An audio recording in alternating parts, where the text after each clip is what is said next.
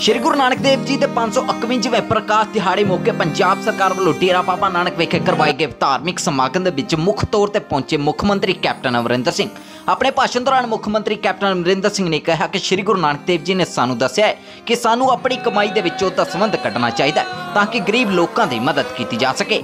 ਉੱਤੇ ਕਿਸਾਨਾਂ ਤੇ ਬੋਲਦਿਆਂ ਕੈਪਟਨ ਅਮਰਿੰਦਰ ਸਿੰਘ ਨੇ ਕਿਹਾ ਕਿ ਕੇਂਦਰ ਸਰਕਾਰ ਜੋ ਕਿਸਾਨਾਂ ਦੇ ਨਾਲ ਵਤੀਰਾ ਕਰ ਰਹੀ ਹੈ, ਇਹ ਬਿਲਕੁਲ ਠੀਕ ਨਹੀਂ ਹੈ।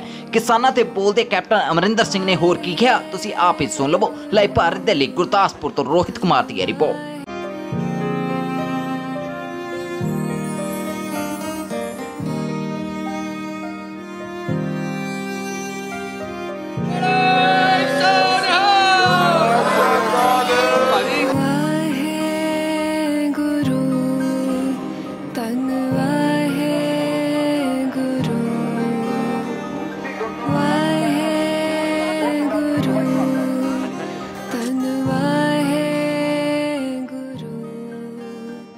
ਸਾਹਿਬ ਨੇ ਜਦੋਂ ਆਪਣੀ ਸਮਾਧੀ ਲਾ ਕੇ ਬਾਈ ਦੇ ਵਿੱਚੋਂ ਨਿਕਲੇ ਸੀ, ਕੀ ਕਿਹਾ ਸੀ ਉਹਨਾਂ ਨੇ ਉਹਨਾਂ ਨੇ?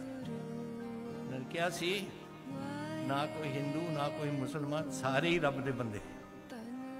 ਇਹ ਕਿਹਾ ਸੀ ਉਹਨਾਂ ਨੇ, ਤਾਂ ਫਿਰ ਆਪਾਂ ਉਹਨਾਂ ਨੂੰ ਕਿਉਂ ਨਹੀਂ ਮੰਨਦੇ? ਕਿਉਂ ਤੋੜ ਰਹੇ ਹੋ ਮੁਲਕ ਨੂੰ? ਕਿਸ ਵਾਸਤੇ ਕਰ ਰਹੇ ਹੋ? ਕਿਉਂ ਅਲੱਗ-ਅਲੱਗ ਤੁਸੀਂ ਮਜ਼ਹਬਾਂ ਨੂੰ ਕਰ ਰਹੇ ਹੋ? ਤਾਕਤ ਹੋਏਗੀ ਇਸ ਦੇਸ਼ ਦੀ, ਅਗਰ ਸਾਰੇ ਇਕੱਠੇ ਹੋਣਗੇ। ਇਹ ਇਹਨਾਂ ਨੂੰ ਸੋਚਣਾ ਚਾਹੀਦਾ। ਕੋਈ ਜਗ੍ਹਾ ਨਹੀਂ ਦੁਨੀਆ 'ਚ ਜਿੱਥੇ ਸਿੱਖ ਨਹੀਂ ਅੱਜ ਵਸ ਰਿਹਾ। ਔਰ ਜਿੱਥੇ ਅੱਜ ਉੱਥੇ ਵਸੇ ਹੋਏ ਨੇ। ਉਹ ਇਸ ਦਿਨ ਨੂੰ ਬੜੀ ਧੂਮਧਾਮ ਨਾਲ ਮਨਾ ਰਹੇ ਨੇ। ਮਨਾਓ, ਯਾਦ ਰੱਖੋ ਸਾਡੇ ਪਹਿਲੇ ਪਾਤਸ਼ਾਹ ਨੂੰ, ਸਾਡੇ ਗੁਰੂ ਸਾਹਿਬਾਨਾਂ ਨੂੰ, ਤਾਂ ਜਿਨ੍ਹਾਂ ਨੇ ਆਪਣੀ ਕੌਮ ਨੂੰ ਜਨਮ ਦਿੱਤਾ, ਆਪਣੀ ਕੌਮ ਨੂੰ ਅੱਗੇ ਲੈ ਕੇ ਗਏ ਔਰ ਸਾਡੀ ਕੌਮ ਤਗੜੇ ਤਰੀਕੇ ਨਾਲ ਅੱਗੇ ਲੱਗੀ ਹੈ। ਚਾਹੇ ਸਰਹੱਦਾਂ ਦੇ ਵਿੱਚ, ਚੀਨ ਦੇ ਵਿੱਚ ਬੈਠੇ, ਚਾਹੇ ਪਾਕਿਸਤਾਨ ਦੀ ਸਰਹੱਦ, ਕਸ਼ਮੀਰ ਦੀ ਸਰਹੱਦ, ਜਾਂ ਜਿੱਥੇ ਵੀ ਦੁਨੀਆ ਦੇ ਵਿੱਚ ਆਪਣਾ ਕੰਮ ਕਰ ਰਹੇ ਨੇ ਵਾਹਿਗੁਰੂ ਉਹਨਾਂ ਨੂੰ ਚੜ੍ਹਦੀ ਕਲਾ 'ਚ ਰੱਖਣ ਔਰ ਹਰ ਵੇਲੇ ਉਹਨਾਂ ਦੀ ਜਿਹੜੀ ਖਾਹਿਸ਼ ਹੈ ਜੋ ਦਿਲ ਦੀ ਖਾਹਿਸ਼ ਹੈ ਉਹ ਪੂਰੀ ਕਰਨ।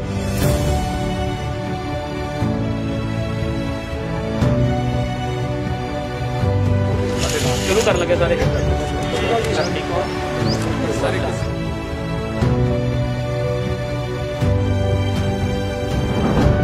ਔਰ ਵਾਹਿਗੁਰੂ ਦੀ ਕਿਰਪਾ ਹੋਈ ਹੈ ਮੇਰੇ ਤੇ ਸਾਡੇ ਸਾਰਿਆਂ ਤੇ। ਕਿ ਸਾਡੀ ਸਰਕਾਰ ਬਣੀ 2002 ਚ। ਦਸਵੇਂ ਪਾਤਸ਼ਾਹ ਦਾ 350 ਸਾਲ ਆਇਆ। ਫਿਰ ਸਾਡਾ 400 ਸਾਲ ਆਇਆ ਗੁਰੂ ਗ੍ਰੰਥ ਸਾਹਿਬ ਪ੍ਰਕਾਸ਼ ਦਾ। ਹੁਣ 550 ਔਰ 551 ਆਪਣੇ ਸਮੇਂ ਚ ਹੋਇਆ। ਔਰ ਹੁਣ ਮਹਾਰਾਜ ਨੌਵੇਂ ਪਾਤਸ਼ਾਹ ਦਾ ਹੁਣ 400 ਸਾਲ ਅਪ੍ਰੈਲ ਦੇ ਵਿੱਚ ਆ ਜਾਏਗਾ। ਇਹ ਤਾਂ ਮੇਰੀ ਖੁਸ਼ਕਿਸਮਤ ਹੈ ਕਿ ਮੈਂ ਆ ਕੇ ਕੁਝ ਆਪਣੇ ਗੁਰੂਆਂ ਦੀ ਸੇਵਾ ਕਰ ਸਕਾਂ ਮੇਰਾ ਖਿਆਲ ਖੇਤੀਬਾੜੀ ਤਾਂ ਸ਼ੁਰੂ ਹੀ ਉੱਥੋਂ ਅਸਲੀ ਤੌਰ ਤੇ ਹੋਈ। ਔਰ ਇੱਥੇ ਹੀ ਨਹੀਂ, ਮਹਾਰਾਜ ਨੇ ਜਿਹੜੀ ਆਪਣੀ ਯਾਤਰਾ ਕੀਤੀ, ਪੂਰਬ ਹਿੰਦੁਸਤਾਨ ਤੋਂ ਲੈ ਕੇ ਭੂਟਾਨ ਦੇ ਵਿੱਚ ਉੱਪਰ ਇੱਕ ਤਲਾਅ ਹੈ। ਉੱਥੇ ਮਹਾਰਾਜ ਨੇ ਜਦੋਂ ਲੋਕ ਕਹਿੰਦੇ ਸੀ, ਅਸੀਂ ਭੁੱਖੇ ਮਰ ਰਹੇ ਹਾਂ, ਤੋ ਆਪਣੇ ਝੋਲੇ ਚੋਂ ਚੌੜ ਕੱਢ ਕੇ ਛਿੜਕਦੇ ਸੀ। ਔਰ ਅੱਜ ਵੀ 500 ਸਾਲ ਬਾਅਦ, ਹਾਲੇ ਵੀ ਹਰ ਸਾਲ ਉਹ ਚੌਲ ਜੰਮਦੇ ਨੇ, ਲੋਕ ਇਕੱਠ ਲੈਂਦੇ ਨੇ, ਫਿਰ ਅਗਲੇ ਸਾਲ ਜੰਮੇ ਆਉਂਦੇ ਨੇ। ਅਸੀਂ ਚਾਹੁੰਦੇ ਹਾਂ ਕਿ ਹਰ ਪੱਖੋਂ ਜਿਹੜਾ ਇੱਕ ਕਿਸਾਨ ਔਰ ਉਹਦੇ ਉਹਦੇ ਉਹਦੇ ਜਿਹੜਾ ਆੜਤੀਆ ਸੀ, ਉਹਦਾ ਰਿਸ਼ਤਾ ਸੀ, ਉਹ ਕਾਇਮ ਰਵੇ ਅਸੀਂ ਤਾਂ ਨਹੀਂ ਕਹਿੰਦੇ ਕਿ ਕਿਸੇ ਹੋਰ ਦੀ ਤੁਸੀਂ ਕਿਸੇ ਨੂੰ ਖਰੀਦਣ ਨਾ ਦਿਓ ਇੱਥੋਂ। ਸਮਾਜ ਦਾ ਖਰੀਦ ਵੇਚਣਾ ਚਾਹੁੰਦੇ ਆ ਆਪਣੀ ਚੀਜ਼ਾਂ। ਅਗਰ ਐਮਐਸਪੀ ਤੋਂ ਜ਼ਿਆਦਾ ਕੋਈ ਖਰੀਦਣ ਨੂੰ ਤਿਆਰ ਹੈ, ਸਾਨੂੰ ਕੀ ਤਕਲੀਫ ਹੈ? ਖਰੀਦ ਲੈਣ। ਲੇਕਿਨ ਉਹ ਰਿਸ਼ਤਾ ਤਾਂ ਨਾ ਤੁਸੀਂ ਤੋੜੋ। ਮੇਰੀ ਲੜਾਈ ਮੇਰੇ ਲਈ ਨਹੀਂ। ਸੁਖੀ ਜੀ ਦੇ ਨਹੀਂ ਨਹੀਂ।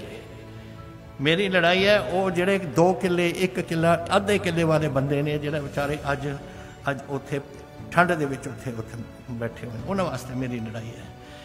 ਔਰ ਮੈਂ ਉਹਨਾਂ ਨੂੰ ਕਿਹਾ ਕਈ ਵਾਰ ਕਿ ਤੁਸੀਂ ਜੋ ਜੰਗ ਲੜ ਰਹੇ ਹੋ, ਆਪਣੇ ਭਵਿੱਖ ਵਾਸਤੇ, ਆਪਣੇ ਪਰਿਵਾਰਾਂ ਦੇ ਭਵਿੱਖ ਵਾਸਤੇ, ਸਾਡੀ ਸਰਕਾਰ, ਕਾਂਗਰਸ ਸਰਕਾਰ ਤੁਹਾਡੇ ਨਾਲ ਬਿਲਕੁਲ ਮੋਢੇ ਨਾਲ ਮੋਢੇ ਜੋੜ ਕੇ ਖੜੇਗੀ ਔਰ ਇਸ ਨੂੰ ਅਸੀਂ ਅਸੀਂ ਅਸੀਂ ਇਹ ਜੀ ਗੱਲ ਕੋਈ ਹੋਣ ਨਹੀਂ ਦੇਣੀ ਇੱਥੇ। ਪਹਿਲੇ ਪਾਤਸ਼ਾਹੀ ਨੇ ਸਾਨੂੰ ਕਿਰਤ ਕਰਨਾ ਸਿਖਾਇਆ।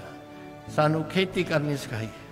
ਸਾਨੂੰ ਰੋਟੀ ਖਵਾਉਣੀ, ਆਪਣੇ ਆਪ, ਆਪਣੇ ਬੱਚੇ, ਆਪਣੇ ਟੱਬਰਾਂ ਨੂੰ ਖਵਾਉਣੀ ਸੀ। ਔਰ ਔਰ ਇਹ ਵੀ ਕਿਹਾ ਕਿ ਤੁਸੀਂ ਕਿਰਤ ਕਰੋ ਔਰ ਵੰਡ ਕੇ ਛਕੋ। ਔਰ ਇਹ ਆਪਾਂ ਨੂੰ ਜਾਗਰਿਤ ਕਰਨਾ ਪਊ, ਆਪਣੇ ਲੋਕਾਂ ਨੂੰ ਨਹੀਂ ਚੱਲਦੇ ਰਹਿਣਾ ਚਾਹੀਦਾ। ਇਹ ਦਸਵੰਦਾਂ ਦੀ ਗੱਲ ਖਤਮ ਹੋ ਗਈ। ਬੜੇ ਘੱਟ ਲੋਕ ਨੇ ਜਿਹੜੇ ਇਸ ਗੱਲ ਨੂੰ। ਔਰ ਇਹ ਹੋਣਾ ਨਹੀਂ ਚਾਹੀਦਾ ਸੀ। ਗੁਰੂ ਘਰ ਪਹਿਲਾਂ ਆਉਂਦਾ ਉਸ ਤੋਂ ਬਾਅਦ ਆਪਾਂ ਸਭ ਆਉਂਦੇ ਹਾਂ। ਔਰ ਗੁਰੂ ਘਰ ਦੀ ਸੇਵਾ ਕਰਨੀ ਸਾਡੀ ਡਿਊਟੀ ਹੈ।